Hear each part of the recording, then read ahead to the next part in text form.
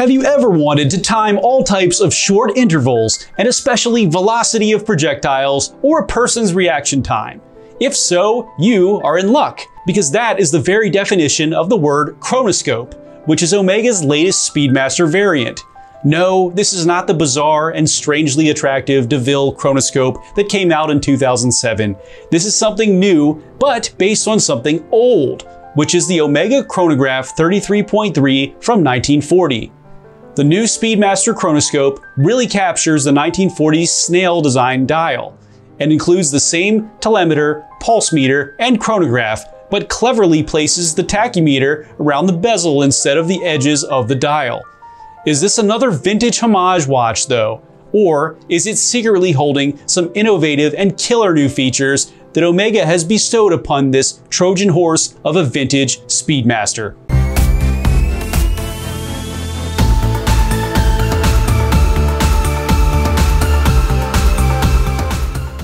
What's up everyone, it's Chris with the Little Treasury Channel. Welcome back. This is where we bring you awesome watch content at least once a week. And if you haven't already, please make sure to smash that subscribe button and hit the notification bell to be alerted as soon as we upload. I'm from Little Treasury Jewelers, which is located in Gambrills, Maryland, and it's where you go when you're in the know. As always, the watches that I review are for sale and can be purchased, so please see the description below to contact us. If you're just joining us, I'll go over the watch's detailed features and measurements, and then at the end, I'll offer my humble opinion. In our last video, we reviewed the phenomenon known as the Seiko Speed Timer SSC 813. This watch is a great looking value packed solar powered chronograph that looks like something far more expensive. And I recommend watching the video just to see what people are talking about. Wrist check time. An Omega video means an Omega watch. And my current Omega watch is the Seamaster Professional in the blue dial, which I picked up because I used to want this watch when I was a kid when the first Seamaster Professional came out with the GoldenEye movie. A fun fact, if you do play the GoldenEye video game, you'll see the Seamaster dial markers on the watch that's in the pause menu. Now tell me which watch you're wearing while you're watching the video, and make sure to tell me why. Now let's get on to the features. The Omega Speedmaster Chronoscope has a 42.6 millimeter case width, a 12.8 millimeter thickness, a 48.5 millimeter lug to lug, a 20.6 millimeter lug width, and weighs in at 144.82 grams. The case has a brushed area along the inner area of the lugs with a swoop of high polish on the edges and more matte finish on the sides. The crown is not screw down and has the Omega logo on the top. We have round simple pushers for the chronograph start, stop, and reset. The bezel is made out of anodized aluminum and is in black, with white and red type for the tachymeter scale. The tachymeter is basically used to tell how fast an object is moving in kilometers per hour. The crystal is box style and is sapphire with anti-reflective coating on both sides. The dial is in a silver tone with a record style ring at the edges and a slightly textured area in the center. Along the outermost edge, you will see minute and split second ticks in black. The dial markers are in black and they're all Arabic numerals for all of the hours, except you will see that the 3 marker is sort of there with the chronograph subdial marker taking its place. I'm not sure if this was intentionally clever or not. The 9 is actually missing though. Omega can be found printed on the dial in the center, with the logo above the Speedmaster below in black.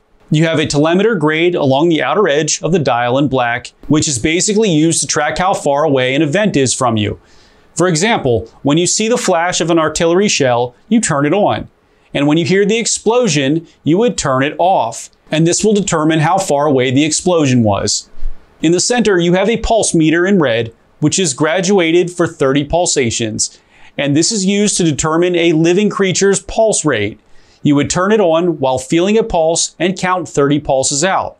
And where the hand points is what your pulse rate per minute is. The hour and minute hands are leaf style and are also in black. The second hand for the chronograph is silver and red, which reminds me of a gate arm of a railroad crossing perhaps, or maybe a candy cane. The subdial at the left is black and used for the actual seconds. It has a silver toned hand and numerals, and the telemeter grade runs through it in gray with the pulse meter running through it in red.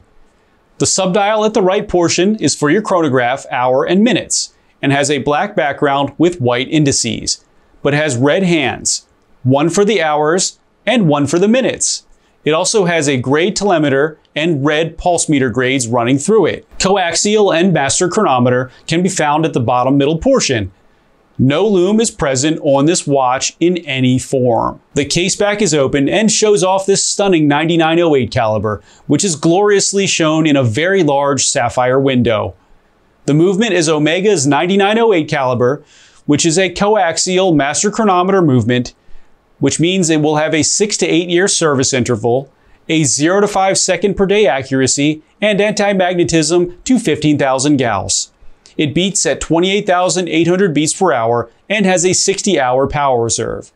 And this one is manual wind, so you will have to interact with this watch every two and a half days to wind it. The bracelet is the new Speedmaster 5-link style bracelet that has a matte finish large links with high polished smaller ones. But you will have a big secret upgrade here over the standard Speedmaster Moonwatch bracelet, and that is although the clasp looks practically identical with the lines and the Omega logo, it has a hidden push to micro adjust built in. The Omega Speedmaster Chronoscope is 50 meter water resistant, so no diving with this one folks, and is ready to make you critically think about timing many new facets of your life for a price of $8,650. Now for my humble opinion. Okay, so let's address number one. Is this watch too busy? I'm going to say at first glance, yes, but after looking at it for a bit and understanding what it represents, it's actually very well thought out, and I think that it actually looks relatively clean. It is another one like the Seamaster 300 that has a vintage look to it, but is actually loaded with clever new features. I probably won't use the telemeter, but just having this and thinking about all the timing functions that it can do mechanically for you versus your cell phone is pretty amazing. The micro adjust on the bracelet is a game changer, and people are going to want to retrofit this on other Speedmasters for sure. This one looks great on my 6.5 inch wrist, and I'm very happy with the fitment. I also must say that the color combo on this one is just so striking and it looks very unique, and not like a homage to other popular chronographs. This is just a more fascinating version of the Speedmaster, and if the Moonwatch isn't sophisticated enough for you, or if you want a vintage inspired look, and four timing complications in one place, then this watch is absolutely for you. Thanks for watching today, everyone. I really hope that you enjoyed the video. And if you did, please make sure to smash that subscribe button, give this video a like, and share it with your friends and your family too. I look forward to seeing you next video.